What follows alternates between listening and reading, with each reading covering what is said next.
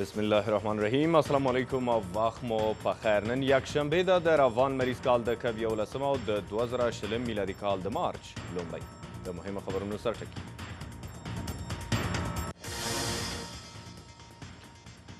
له طالب رهبرانو سره لیدو ته د ډونالد ټرمپ تیاری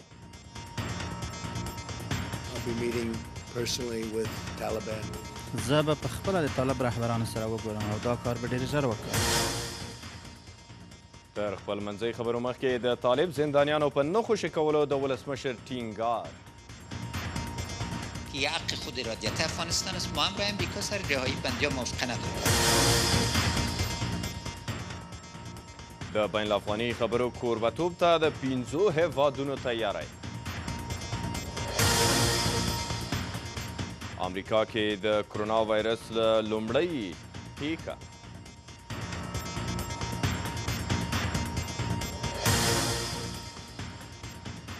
او په افغاني صادراتو کې زیاتوالی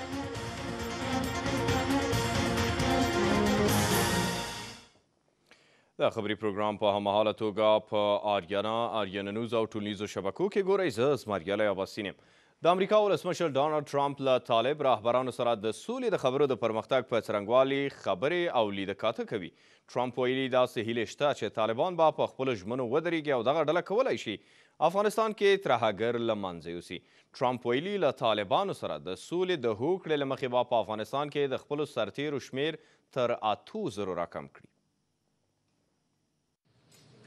د قطر په پلازمېنه دوحه کې د طالبانو او امریکا ترمنځ د سولې د هوکړې له لاسلیک وروسته په افغانستان کې د جګړې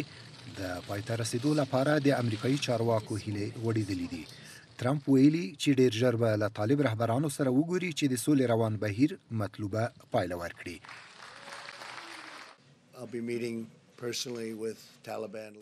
زه به په خپله د طالب رهبرانو سره وګورم او دا کار به ډېر ژر وکړم. هیله مند یم چې طالبان باید هغه څه وکړي چې باید یې وکړي. طالبان به خپلې ژمنې عملي کړي او ترهګر به له منځه یوسي. د امریکا ولسمشر دونالد ترمپ وايي چې له طالبانو سره د شوي توافق له مخې د دې زمینه برابره شوې چې په افغانستان کې د خپلو سرتیرو شمیر تر اتو زرو پورې راکم کړي.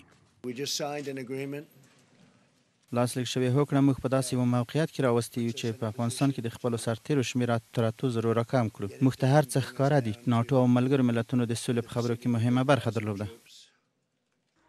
له دې ټولو سره سره د امریکا ولسمشر وايي، که طالبان خپلې ژمنې عملي نه کړي، په ډېر ځواک او قوت به. لاس په کار شي. موږ په طالبانو باور لرو چې داسې کار نه کوي چې زموږ وخت ضایع کړي. که ژمنې ماتې کړي، موږ به په پوره قوت راوګرځو چې مثال یې نه وي تکرار شوی. هیله لرم چې دا کار ونه کړي. امریکا له طالبانو سره د سولې هوکړه له دې کبله ارزښتناکه ګڼي چې په وینا یې د خپل تاریخ تر ټولو اوږدې جګړې پای ته رسولو ته یې ورنږدې کړې ده. امریکا وايي چې د افغانستان د تلپاتې ثبات او تاوتریخوالي د له منځه وړلو لپاره یې خپل پلانونه د عملي کېدو په حال کې دي. بلخوا کابل کې ولسمشر غني وایي امریکا د طالب زندانیانو د خوشې کولو واک نه لري. د ښاغلي غني په وینا د طالبانو او افغان حکومت ترمنځ هیڅ داسې ژمنه نه شته چې د افغانانو د خپلمنځي خبرو له پیل مخکې پنځه زره طالب زندانیان خوشې شي. ولسمشر وايي، له طالبانو سره د خبرو لپاره یې اته کسیز پلاوی ټاکلی، په وینا یې د خبرو په مسوده به ملي شورا او یا هم لویه جرګه وروستی تصمیم نیسي. د ولسمشر په توګه په خپله پنځه کلنه دوره کې ولسمشر غني په ندرت د خبریالانو پوښتنو ته حاضر شوی دی، اوس له طالبانو سره د خبرو د تودېدو په درشل کې خبري کانفرنس کې راڅرګند شو، ولسمشر غني وایي چې د افغانانو د خپلمنځي خبرو د پیل لپاره هیڅ شرط په منځ کې نشته او د زندانیانو په خوشې کولو به د سولې په خبرو کې تمرکز وشي صلاحیت امریکا نیست جناب محترم وقتی که برتان میگم که یه حق خود ارادیت افغانستان است ما هم رای امریکا سر رهایی بندیا موافقه نداریم ای صلاحیت جمهوری اسلامی افغانستان است تنها و تنها در چارچوب مذاکره همه جانبه این موضوع مورد بحث قرار گرفتن له بلې خوا طالبان وایي چې له امریکا سره د شوي توافق له مخې به د افغانانو د خپلمنځي خبرو مخکې 15 زره طالب زندانیان خوشي کیږي. گام بعدی ای است که 5000 اسیرای امارات اسلامی افغانستان خلاص شد و متصل بعد از این مذاکرات بین الافغانی بین همه جهت های دخیل در قضیه افغانستان مذاکرات شروع می شود ولسمشر وایي چې په تیرو لسو ورځو کې له بیلابیلو سیاسي او مدني پاړکیو سره تر سلا مشورو وروسته یې اته کسیزه مرکچي پلاوی جوړ کړی دی چې ظاهرا ټول غړي یې لوړپوړي حکومتي کسان دي ولسمشر وایي چې د سولې د خبرو مسوده به د خلکو رایې ته وړاندې کړي. ایت ایت جمهوری اسلامی افغانستان که تصمیم گیرنده آخری طبق قانون اساسی افغانستان یا پارلمان افغانستان است یا لوی جرګه افغانستان است یا رایسنجی عام است. ولسمشر غني وایي چې په افغانستان کې د ناټو د غوڅ ملاتړ قومندان ډاډ ورکړي چې طالبان به روان اور کم ته دوام ورکوي ترڅو دوامداره اوربند ته لاره هواره شي جنرال ملر که مسئول تطبیق اسیس از طرف امریکا با وضاحت به طالبا آشکار ساخته که جز توقعات است و اگزی عدول شوه اینا آلت مشروط را که به صورت واضح برشان گذاشته شده نقص خواد کرده و حاله باید بریم از اورکم به اوربند.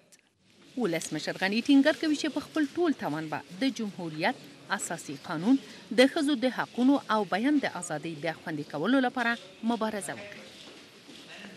د امریکا او طالبان ترمنځ د سولې د هوکړه لیک منځپانګه څه ده؟ امریکا او طالبان باید پر کومو ژمنو ولاړ واوسي؟ د افغانانو خپلمنځۍ خبرو ته په دې هوکړه لیک کې څه ډول اشاره شوې ده؟ په دې رپورټ کې علي اصغري د امریکا او طالبان ترمنځ د سولې هوکړې مهمو ټکو ته لنډه کتنه کړې چې ستاسو مخې ته یې ږدو. د امریکا او طالبانو ترمنځ تر اتلسو میاشتو وروسته یو تاریخي جوړجاړی په څلورو محورونو متمرکز دی. د امریکا او طالبانو ترمنځ د سولې د هوکړه لیک پر سرلیک کې په ورایه ټینګار شوی چې امریکا لا هم طالبان د یو رسمي دولت په توګه نه پېژني، خو د هوکړې بشپړ سرلیک دا ډول دی، د امریکا او اسلامي امارات ترمنځ چې امریکا یې په رسمیت نه پېژني، په افغانستان کې د سولې د راوستو هوکړه لیک. د سولې هوکړه لیک څلور محورونه دا دي. په دې برخه کې راغلي دي چې امریکا ژمنه ده چې له افغانستانه به خپل سرتېري، له دې ډلې غیر ډیپلوماټیک ملکي پرسونل، پوځي قراردادیان، ښوونکي، سلاکاران او ملاتړي ځواکونه به په څوارلسو میاشتو کې وباسي. د دې طرحې د عملي کولو لپاره دغه تدابیر په پام کې نیول شوي دي. په یو سل او پنځه دېرش ورځو کې به د امریکايي ځواکونو شمېر اته زره او شپږ سوو ته رسېږي او ایتلافي ځواکونه به هم د همدې شمېرې تر سرحده ورسېږي. امریکا، متحدین یا ایتلافي ځواکونه به د افغانستان له پنځو اډو څخه خپل سرتېري وباسي. امریکا او متحدین به یې په نهه نیمو میاشتو کې خپل سرتېري له افغانستانه وباسي. که چېرې طالبان له نورو ډلو سره خپلې اړیکې پرې کړي نو امریکا به لاندې ګامونه اوچتوي، د دوه زره او شلم کال د مارچ میاشتې تر شلمې نېټې پورې باید طالبان د افغان حکومت زر تنه زندانیان او همدارنګه به افغان حکومت د طالبانو پنځه زره زندانیان له بنده خوشي کوي او په دې ترڅ کې به د بین الافغاني خبرو موده هم په پام کې نیول شوې وي. همدارنګه ویل شوي دي چې امریکا به مرسته وکړي تر څو افغان حکومت او طالبان په دریو میاشتو کې د یو بل ټول زندانیان خوشي کړي.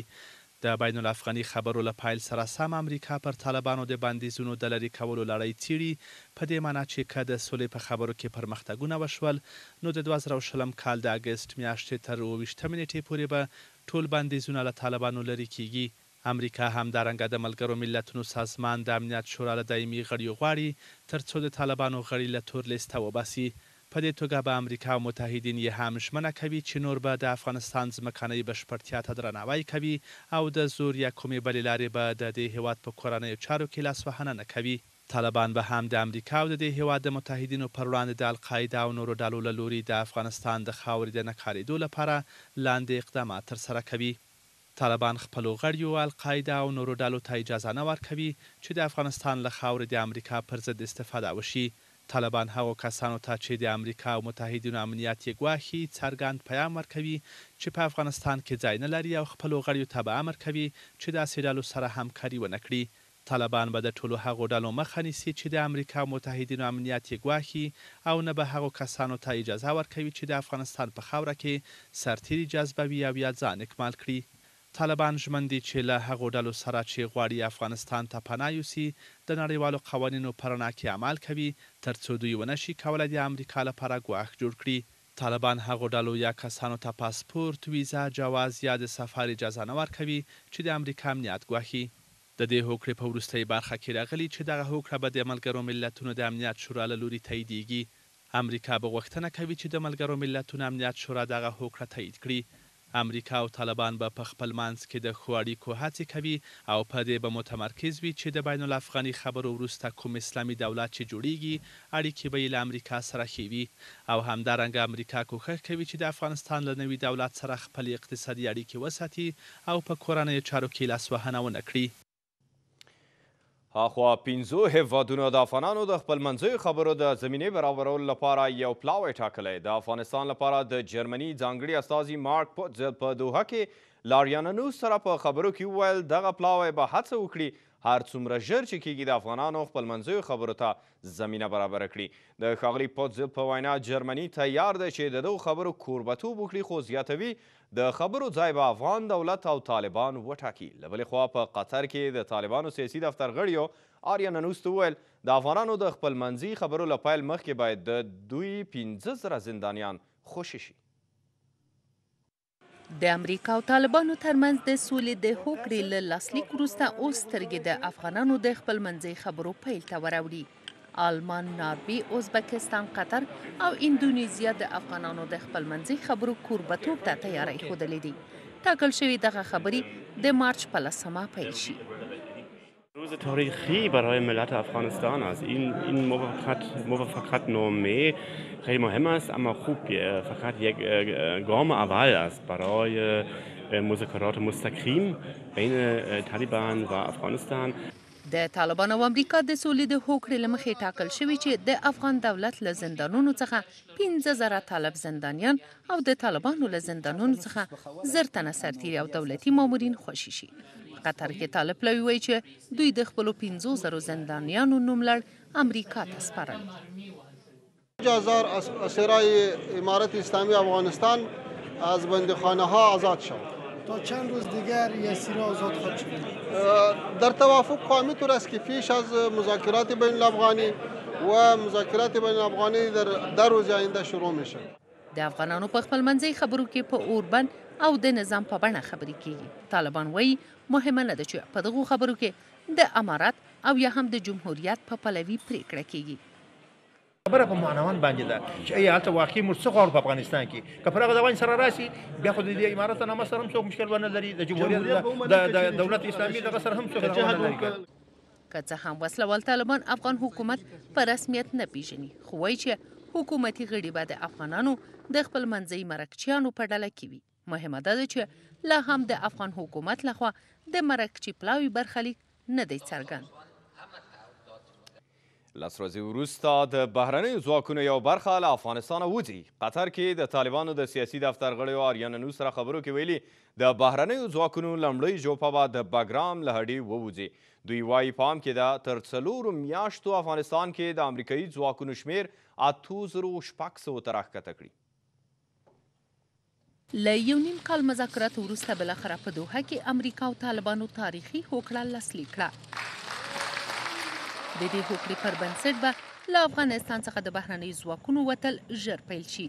د بهرنیو ځواکونو یوه برخه تر لسو ورځو پورې د بګرام له پوځي اډې څخه وځي او په پام کې ده چې تر څلورو میاشتو به د امریکایي ځواکونو شمیر په افغانستان کې اته زره شپږ سوه تنو ته ورسیږي خو د طالبانو د ژمنو عملي کېدو په شرط به ټول بهرني ځواکونه تر څوارلسو میاشتو له افغانستان څخه ووځي.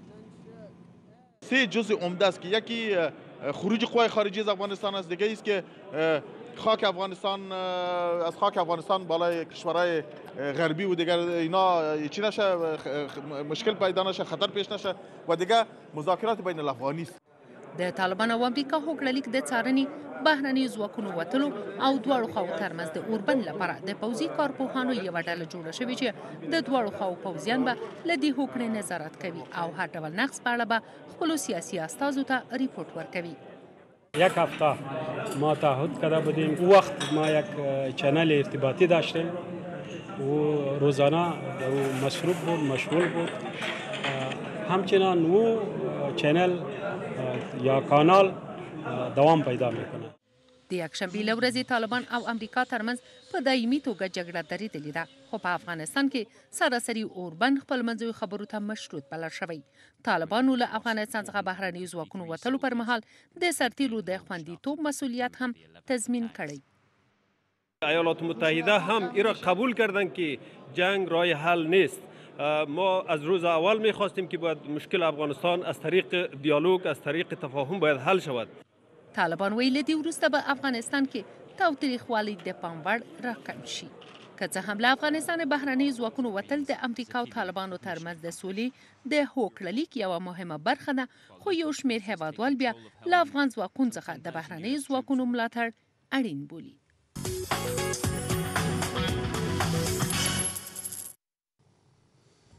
د خبرونو دوام آریانا نوز او آریانا کې ګورئ سږ کال د افغانستان صادرات لوړ شوي د سوداګرۍ نړیوال مرکز مسولین وایي د ټولو ستونزو سره سره حکومت توانېدلی روان کال کې خپل صادرات تر یو میلیارډ ډالرو پورې ورسوي د سوداګرۍ نړیوال مرکز مسؤلین وايي، روان کال د سیاسي او اقتصادي ستونزو سره سره افغان حکومت توانېدلی چې د صادراتو کچه تر یو میلیارد ډالرو پورې ورسوي. د دې ادارې مسؤلین همدارنګه وايي چې د صنعت او سوداګرۍ وزارت اقتصادي سیستم په ښه توګه مخته وړي او په دې برخه کې به د سوداګرۍ نړیوال مرکز افغانستان د سوداګرۍ وزارت سره نوې همکارۍ پیلوي. بر اساس معلومات از اونا افغانستان تانسته امسال هم یک میلیارد دلار هدف به دست بیاره پس ما به آمار رسمی او که از طرف دولت افغانستان را همیشه توجه میکنیم که به باور ما او هدف به دست آمده و اگر چه یک سلسله محدودیت های در طرف پاکستان به وجود آمده قسمی که شما گفتین اما حکومت تانسته راهای بدیل با کشورهای آسیای میانه و اروپا را از طریق مثلا از طریق بندر چابهار یا مسیر لاجورد لاجورد و همچنان ایر کوریدور دهلیزهای هوایی ایجاد کرده په همدې حال کې د اقتصادي چارو کارپوهان د افغانستان سکتوري بنسټونو سره د سوداګرۍ د نړیوال مرکز همکاري خورا مهمه بولي او ټینګار کوي چې د دغه نړیوال بنسټ همکاري کولای شي افغانستان سم اقتصادي لوري ته تنظیم کړي. هدف اساسی ای سازمان ای است که در ابتدا پالیسی های اقتصادی را به کشورهای جهان سوم می سازه در کنار پالیسی ها می تانه که نقدا یا همکاری های نقدی باید داشته باشه این همکاری های نقدی و پالیسی سازی ها بسیار نقش اساسی را در بازارها و مارکیټهای جهانی و جهان سوم ایفا و بازی کرده میتانه. ای خوشبینی برای نظام افغانستان بسیار مهم و اساسی است. فکر میکنم که ازی پالیسیها و ازی همکاریهای نقدی باید حکومت افغانستان بهترین بهره برداری را داشته باشد. د صنعت او سوداګرۍ وزارت مسؤلین همدارنګه وايي چې د تازه او وچو مېوو او همدارنګه د غالیو په برخه کې یې صادرات لوړ شوي دي. کړي دي. د سوداګرۍ نړیوال مرکز مسؤلین همدارنګه وايي، د سوداګرۍ وزارت سره به روان میلادي کال کې هم درې میلیونه یورو مرسته وکړي. اوس د افغانیو پر وړاندې د یو شمېر بهرنیو پیسو بیې.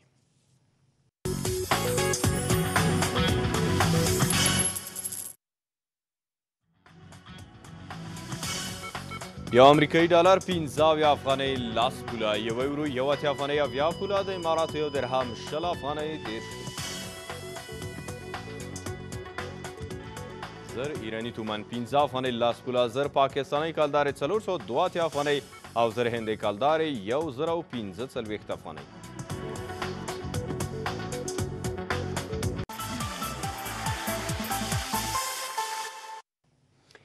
دا هم څو سپورټي خبرونه. په کابل کې د لومړي ځل لپاره د بزکشۍ یا وزلوبې د غوره لیګ سیالیو لپاره په چاچونه وشوه. په دې مراسمو کې د بزکشۍ پنځو ټیمونو د هیواد له څوارلسو ولایتونو سره څخه برخه اخیستې ده. ټاکل شوې ده د دې سیالیو لومړی پړاو د همدې اونۍ د پنجشنبې په ورځ د دوه سوه ورزشکارانو په حضور کې د کابل له خوا کوربتوب وشي.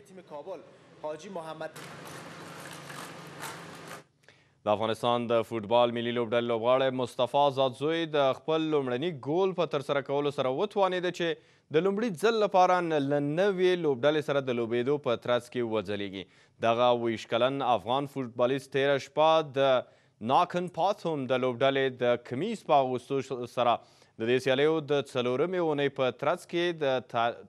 مو وتوانېده چې د پیچا یا لوبډلې پر وړاندې ګول وهنه وکړي. په دې لوبه کې په پایلې سره دوه پر دوه دغه لوبه مساوي پای ته ورسېده. ال کلاسیکو د لالیګا د راتګ پړاو په ترڅ کې نن شپه د سانتیاګو برنابیو پر وړاندې لوبه ترسره کوي. ریال مدرید او بارسلونا هم په دې لوبو کې ګډون کوي. دغه دوه ټیمونه چې د نړۍ تر ټولو زیات پلویان لري تر اوسه په دوه سوه درې څلوېښت لوبډلو کې د الکلاسیکو په سیالیو په ترڅ کې د یو بل پر وړاندې د لوبې ډګر ته وتلي چې بارسلونا یوه بریا تر ریال مدرید تر اوسه په خپل تاریخ کې ثبت کړې ده. د جدو... د دې سیالیو په جدول کې همدا اوس بارسلونا د دوه نمرو په زیاتوالي سره د خپل سرسختي سیال ریاډ مډریډ څخه مخکې ده او په لومړي کتار کې ځای نیولی. د هوا حالات